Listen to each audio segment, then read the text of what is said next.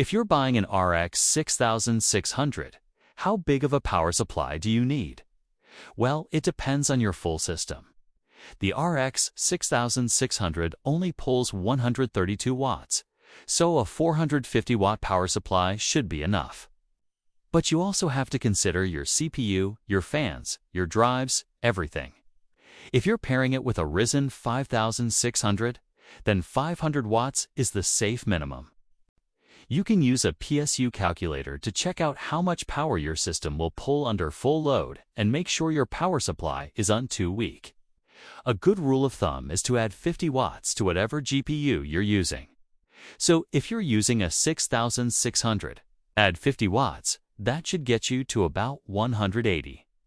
Then take a look at your CPU, see how much power it pulls. The Ryzen 5600, for example, pulls about 65 watts under full load. Add that to your GPU and you get 245 watts. That's what you should be looking at under full load. Make sure your power supply isn't too weak.